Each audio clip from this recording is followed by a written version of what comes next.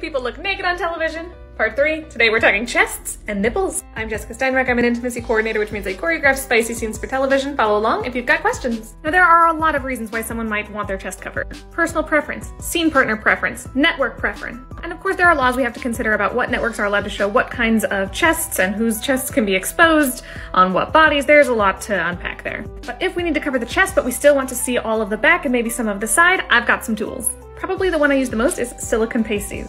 And I'll be honest, these are just a great wardrobe tool in your regular life.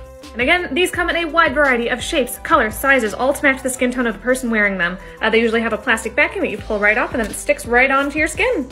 We also do sometimes use these more classic petal style pasties. These petals are nice because they help conform to the shape of your chest.